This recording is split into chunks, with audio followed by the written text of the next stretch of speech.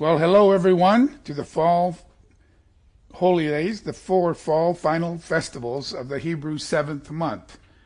The Hebrew seventh month usually fits into late September and October in our calendars today, in the Gregorian. And it's exciting. It's a very exciting time. The final four holy days in the seventh month. Seven is a number of finality, completion, perfection. But frankly, I don't think we, as God's children, who know about the holy days and the feasts of God and His appointed times to meet with Him, frankly, are excited enough. If we could be like the Israelites having to go meet God at the foot of Mount Sinai and hear His voice and the trumpet and the lightning and the thunder, and if we knew that was going to be what we'd be going through, I think we'd be pretty excited. And we're going to be going through something even more exciting than anything like that very soon, but we're not as excited as we should be, including me. That's why I'm giving this teaching to wake us all up, including me. So, welcome to Light on the Rock. I'm Philip Shields, host and founder of this free website. Remember to check out the short reads, the blogs, our sermons that are a mix of video sermons and audios. Uh, feel free to make comments, ask questions, and we hope you register as well. The more who have registered, uh, the better it, it, works for us to get our message out. This will be a shorter message, but if you want to under- understand the meaning of this uh, season, starting with Yom Teruah, the Feast of Trumpets, please check out the video sermon I just have on it that will explain in very good detail including some major differences in the teaching regarding timing that I feel God is leading more and more teachers and preachers to see. This is not my message today. It's not about Yom Teruah, the day of shouting. By the way, the Young's literal translation calls it a memorial of shouting. Anyway, we will see the return, I believe, on this day to the Mount of Olives, the return to the Mount of Olives by the Son of God, likely on this very day, with his wife that he's now married to. Hopefully, that's you and me, the Israel of God, as Galatians 6 puts it. But time wise, many of us understand we just cannot justify believing any longer that all of this happens on one literal earth day, that we're resurrected at the seventh trump on the Feast of Trumpets. Remember, uh, trumpets, silver trumpets, and shofars were blown especially the silver trumpets, on all the holy days, all of them. It's hard to believe we're resurrected on this day, Feast of Trumpets. After the seventh trumpet, you see there are still seven last plagues that are discussed in Revelation 15 and 16, and all of that happens after the seventh trump is blown. That surely takes months, maybe longer. And so for that reason alone, and then what what are we going to do? What is what and where and when will Jesus, will Yeshua, where would he be married on this devastated planet? No, so we believe, a lot of us believe, that the resurrection for the first fruits, the first ones to be resurrected are the first fruits is on the day of first fruits, is on the feast of first fruits, which is Pentecost. That's also the day when God married Israel. And on the day of Pentecost, on that season anyway, at Mount Sinai. The days of unleavened bread mostly picture Yeshua, the first of the first fruits of lowly barley, and then the early converts. Pentecost itself is when two leavened loaves are lifted up towards heaven by the high priest as first fruits as Leviticus 23 says. The, these uh, two loaves are first fruits to God, it says. And I'll put the scriptures in the notes too. Anyway, so this pictures our ascension to heaven, I believe, to marry Jesus Christ, Yeshua, our Messiah. Revelation 19 seems to be very clear to me when you read it. I heard another voice in heaven saying, and, and this I heard and saw in heaven. Heaven, heaven, heaven. 144,000 are seen in Revelation 14 on the sea of glass in heaven. Are you seeing what I'm saying? So we go up to heaven while the seven last plagues are being poured out. get married, get introduced to our team, see the mansion that God has created, that Yeshua has made for us, and then come back, I believe very likely on the Feast of Trumpets. Yeshua said we won't know the day or the hour, and by then, there are verses I've covered before where it's prophesied that the earth will reel to and fro like a drunkard. And so, somewhere in all of that, I think it's going to be hard to tell time. And to and, and, and with all the ash and volcanic ash and nuclear debris and warfare and everything else going on, it'd be hard to see the sun and the moon. And so it's very easy, very likely that it'll be hard to tell are we in the first of the seventh month yet or not. But my point is this watch the video. I give all of that stuff in the video about the Feast of Trumpets, the day of shouting, Yom Teruah. But my point is this are we excited? Are we excited about the fall holy days? I've kept them all my life pretty much, pretty privately as a child with my mom and siblings and then openly in the Sabbath keeping church services I've attended since I was 12 when mom and dad divorced. that was 57 years ago. So this is no longer a new concept to me. And many of you fall into that category. You've kept this for 10, 20, 30, 40 years, 50 years, or more like I have. And I realize when looking at our, my own attitude that I can preach about these days, I can discuss them, I can analyze them, but am I excited? In my real heart of hearts, am I excited? Carol made the point to me, my wife made the point to me that so often we've emphasized events and doctrine, but we've often left out the person, the person of Jesus Christ. We haven't talked enough about him, Yeshua, the Messiah, the Savior. So we left out talking a lot about meeting him getting married to him before this the autumn festivals, then coming back with him as his bride, as his wife, and he's a very important someone, obviously, the very Son of God, who is also called God. And the Word was God, John 1 3, right? And he has invited you. God the Father called you, chose you.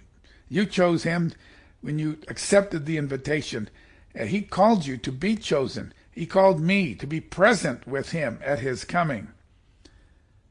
We get so far excited about baseball games, football games, soccer games, than we do the coming of the Messiah.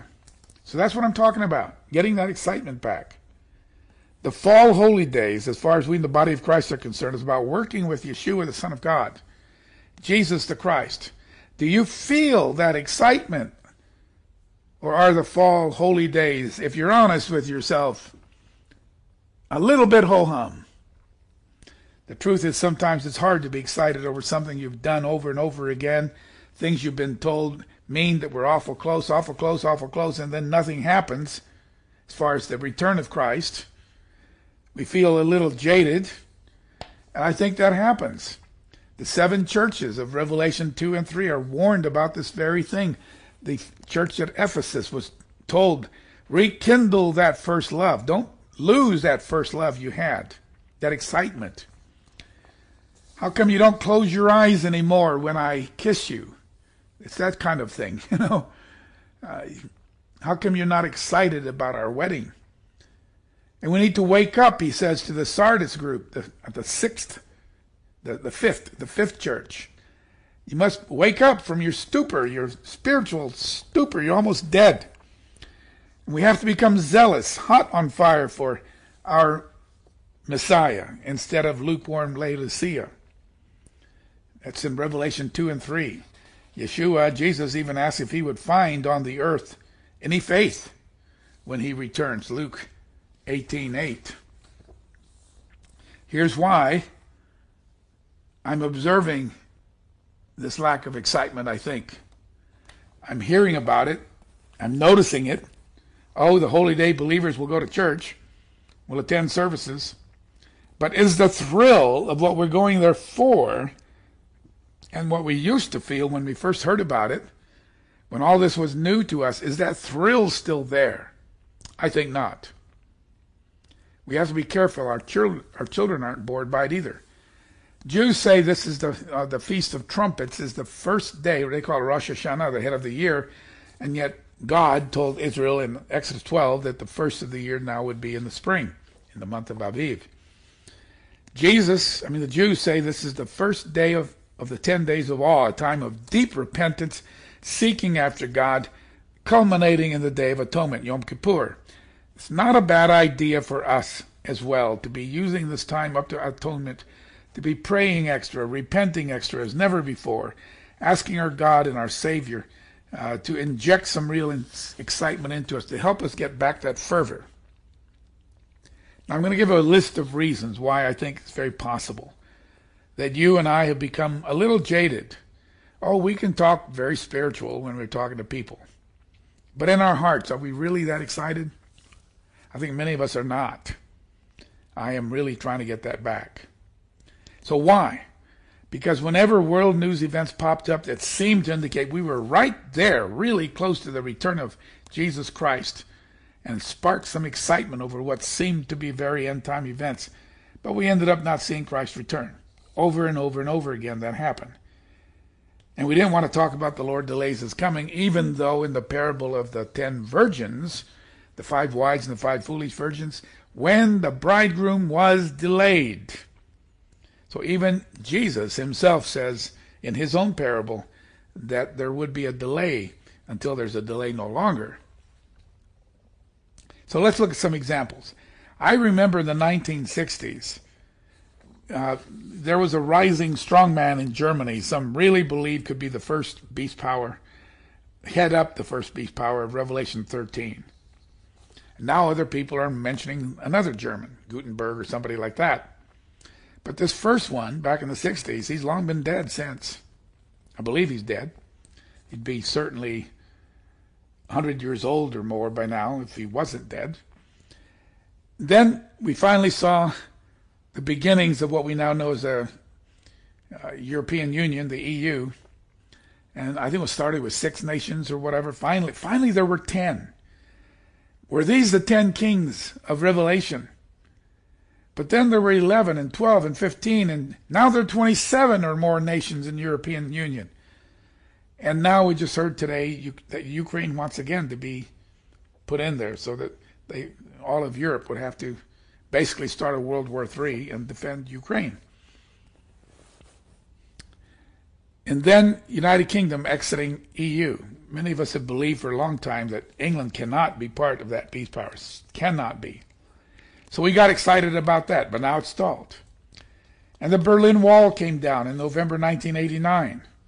Germany was reunited. We got excited because we've all, many of us have believed Germany would be heading up that beast power in Europe. But Germany did not come on strongly. They're not as strong as they might seem, yet. And the Ukraine war did seem to awaken Europe, though. And we're starting to see it turn to the right in Italy that's happening with a lady named Georgia, is it Maloney? I think it's her name. Then we saw the Soviet Union, October to December 1991, just fall apart. That was exciting. We tried to fit that into prophecy. What did that mean? And then the stock market crashed in 2008, really big time. I think something like 10% of the value was lost. Back then it was only 777 points. We've lost more than that now. But the impact now is not as strong as back then. Now, now would be double that, I think, for us to uh, feel the same thing. but it caused a global financial crisis, spurred by the U.S. market subprime mortgage market crash. Surely this could lead to the end, but it did not. Many are watching the markets now in 2022. Just today, it fell another 500 points. We're now at $28,742. It was as high as 33,000 something. So it's dropped 5,000 points. 2015, the Supreme Court said anybody could marry anybody gays, straights, anybody. Still, the end did not come. 2017, in a Shemitah year, the USA moved the U.S. Embassy to Jerusalem. There were four peace accords with Arab nations and Israel, the first time since Sadat. Was this the peace, peace, when there is no peace but sudden destruction?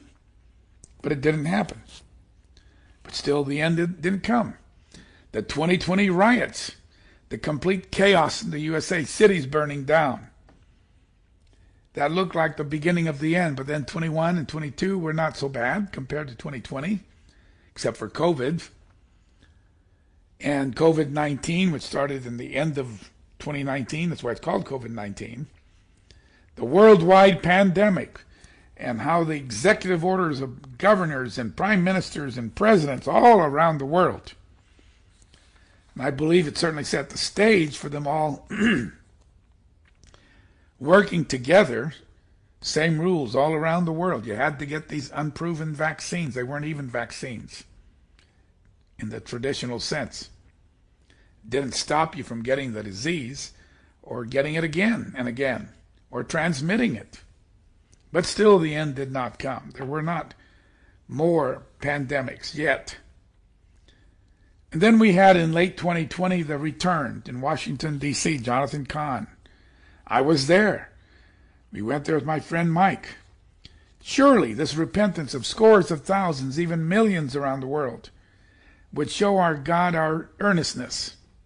But the only thing that happened on that day was the swearing in of Justice Amy Coney Barrett, Amy Coney Barrett,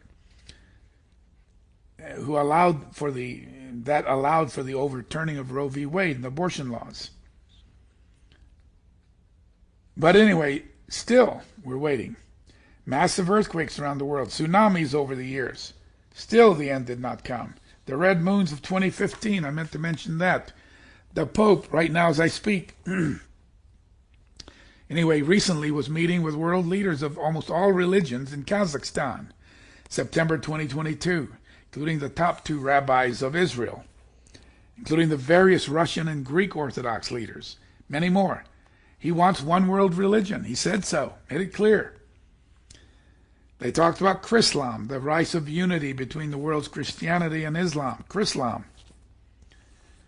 And remember, Pope Francis in Kazakhstan seems friendly to Chrislam, seeming to be encouraged that this could start the potential one world religion that he mentions at the seventh meeting of the Congress of Leaders of World and Traditional Religions, held September 14 and 15 in Kazakhstan.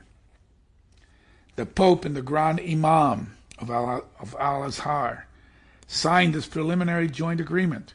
In 2019, they traveled to Abu Dhabi to sign the global covenant called the Peace Covenant. Did you hear about that?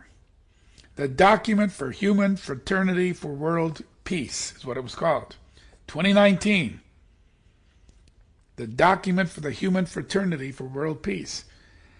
And then in the UAE, they started they've started building three buildings dedicated to Chrislam's headquarters, the Abrahamic Family House, consisting of the world religions tied to Abraham.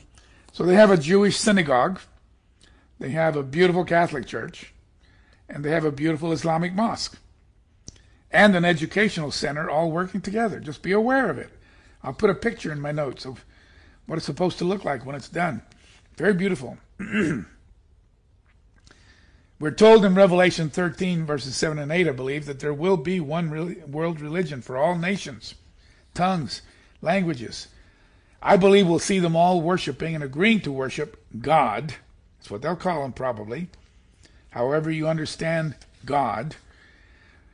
But they won't allow the unique names for God. We have to say God, as what I predict they'll do. Not prophesying, I'm just thinking out loud. We'll say God instead of Allah. We'll say God instead of Jesus. But you watch, Jesus, Yeshua, will not be allowed to be mentioned. But you and I must not be part of this one world religion, for you will incur the wrath of God Himself if you do. says so several times, especially in the book of Revelation 13, Revelation 13, uh, the end of Revelation 19, Revelation 17. So as these seems these things seemed to be taking their good old time, we became jaded, blasé, unexcited. So this message today is simple. Wake up, believers. Wake up, Philip. Wake up, America. What's your name? Put your name in there. Wake up. Use the next few days to repent. Seek God as never before. Spend more time on your knees. Go for your walk and talk with God around the block. Pray at your home. Pray outside your home. Pray always. Pray continually. Understand, it's been prophesied there will be proclamations of peace and peace and peace. A time of safety, but no real peace. First Thessalonians 5 3.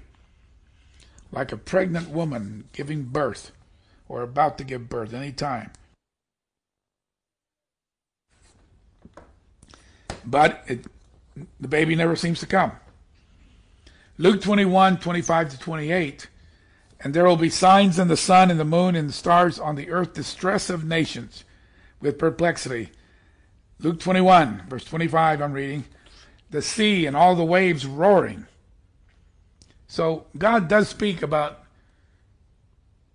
shaking the earth, maybe literally. Men's hearts failing them from fear and the expectation of the things which are coming on the earth, for the powers of the heavens will be shaken. We might see near misses, maybe small asteroids a large asteroid hitting the earth would probably wipe us all out. And then they will see the Son of Man, verse 27, Luke 21, verse 27, coming in a cloud with power and great glory. Later on in Revelation 19, he's coming on a white charger. So there's two different comings. He comes to collect his bride on the clouds, and then we're with him. The two leaven loaves are raised up, picturing us going to heaven for the wedding supper, just like he married Israel of God in Acts, I'm sorry, Exodus 19 to 24. Israel was the first fruits of the many nations. God would eventually call everyone, like we see in Zechariah 14. Israel was the first fruits. God married her on the first fruits day. God met with her on first fruits day. It's going to happen again on First Fruits Day, Feast of First Fruits, Pentecost. Now, when these things begin to happen, verse 28, look up and lift up your heads, because your redemption draws near.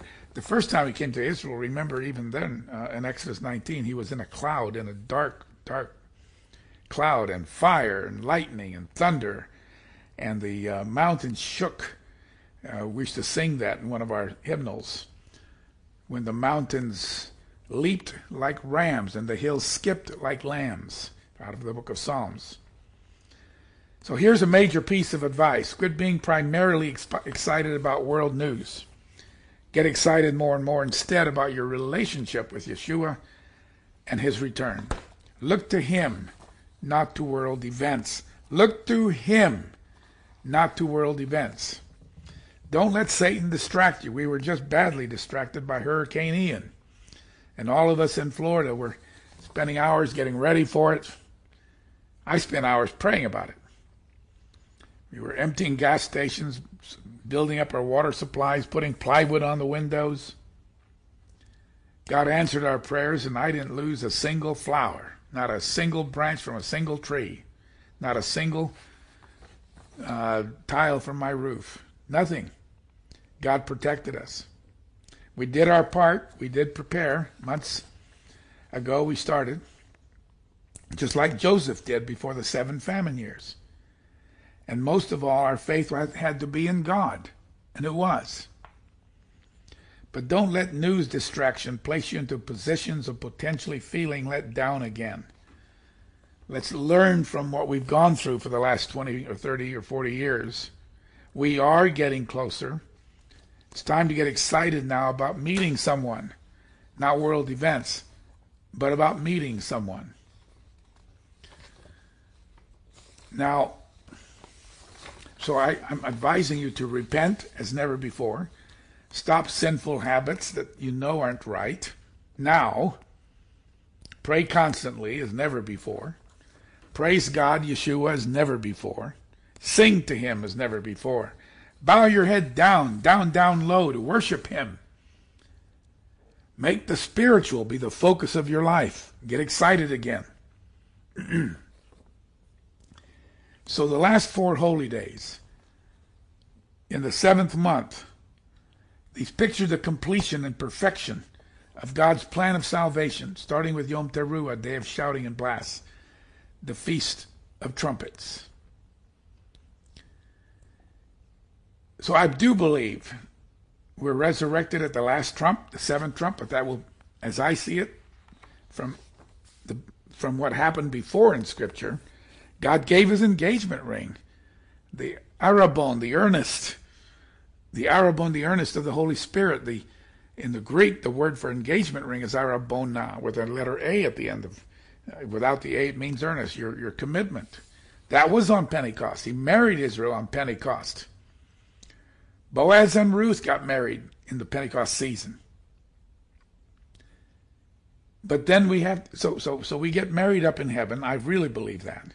Seven last plagues, remember, have to happen after the seventh trump.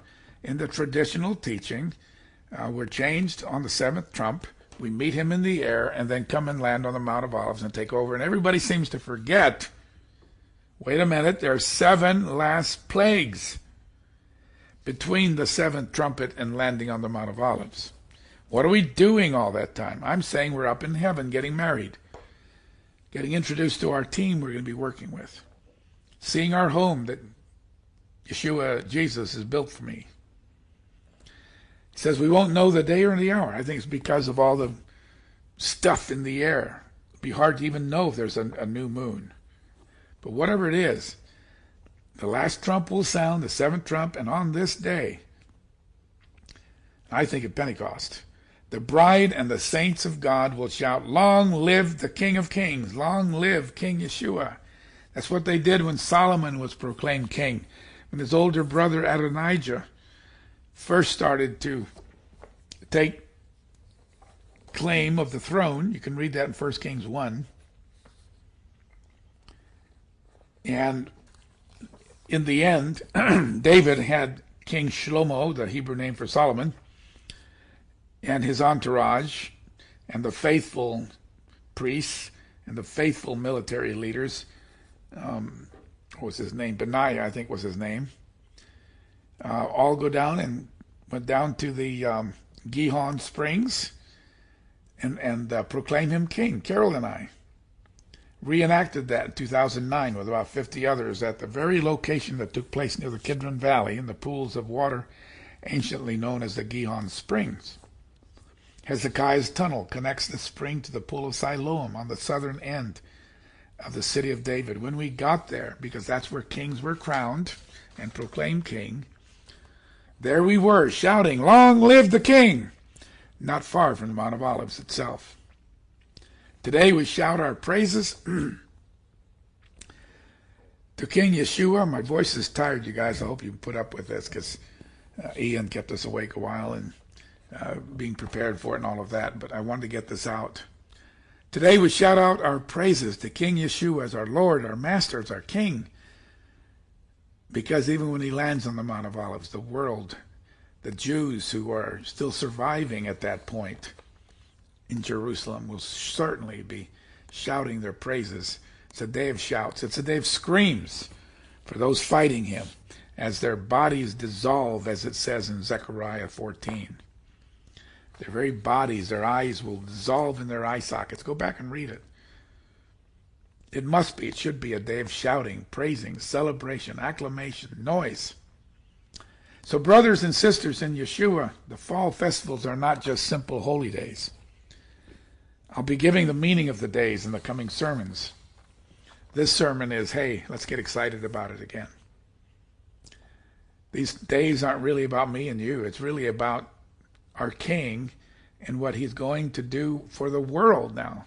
It's now, it's now about the rest of the world being called to salvation. It's really about our king and what he's doing to remove Satan, who is the present day God of this age. He's going to rush, uh, reign or bring in his own rulership. He will be the true God of this world. And Satan will be deposed, that we can read in Revelation 20. So I'm getting excited about these fall holy days, not so much because the Feast of Tabernacles is a fun time to go someplace you haven't been for a while. We're going to a beautiful place. Some of you are going to Cabo or or uh, some other beautiful place in Europe or or Mexico or Central America or Bahamas or something. So it, it's thrilling to get out and be with family. But I'm thrilled more about the fall feast, not because of that, but because they point to the beginning of the end of Satan's rule and the beginning with no end of our loving God. And he will eventually turn, Yeshua, Jesus, will turn that over to God the Father. We're told in 1 Corinthians 15. But of his kingdom there shall be no end. Praise the eternal. Praise our God the Father, our Abba, our dear Daddy, God Most High Praise Jesus Christ, our Savior and ruler. So I get excited about these fall holy days because they picture when the world will finally get to meet the true King of Kings, the true God of this world from that time on, the Son of God Himself. The fall holy days picture coming before God, letting the world come before God, letting the world experience Him, letting the world see him come down. Every eye shall see him. And they'll come to Jerusalem to worship him at the Feast of Tabernacles. If they don't, they'll have no, no rain for as long as they stay away. Zechariah 14 is all about that. Read verses 16, 17, 18. Zechariah 14. So let's get and keep excited about all of that, can we? It's also about a time when people will finally be loved and cared for properly. I'm excited because torture will finally stop. That's going on today, every single day, somewhere in the world. I'm excited because families, godly families, will be restored.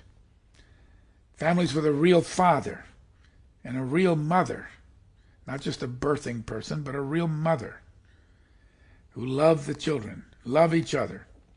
I'm excited because violence and wars will come to an end. The senseless and vicious deaths caused by wars will cease.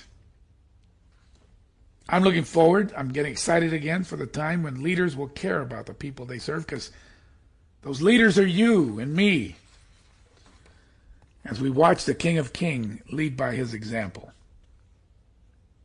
These fall holy days picture God's plan for the whole world and for everybody in it.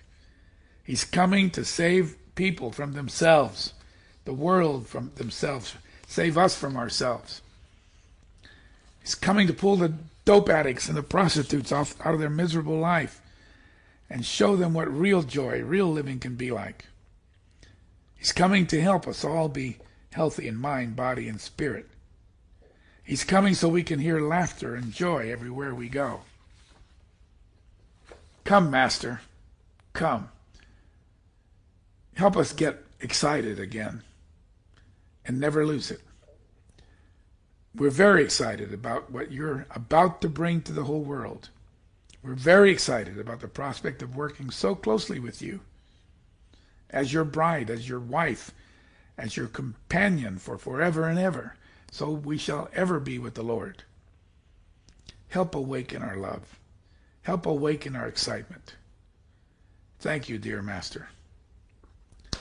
Father in heaven, we come before you and we just ask in Jesus' name, in Yeshua's name, that you will just rekindle those of us who need it rekindle this joy, this excitement, this love. Oh, we all go to church still on the holy days, at least one's hearing this. But do we go with a sense of thrill and excitement? I don't know. I wish we would. Those of us who've been watching things for 40, 50, 60 years, I pray, Father, that you will let us understand we're closer than ever before. Pour out your anointing of the Holy Spirit on us. Pour out your excitement for it. Pour out your zeal for the work that has to be done still. We love you very much. Please protect us as we go to the feast. Please keep Satan's distractions from us focusing on the feast and what they mean. fall holy days. And if there are distractions, let us get through it quickly and come back to you. I'm talking about like hurricanes and earthquakes and tornadoes and different things. Thank you so much, dear Father. We love you with all our heart. Thank you, Jesus. Master, please come. Father, please let him come soon. In Jesus' name, amen.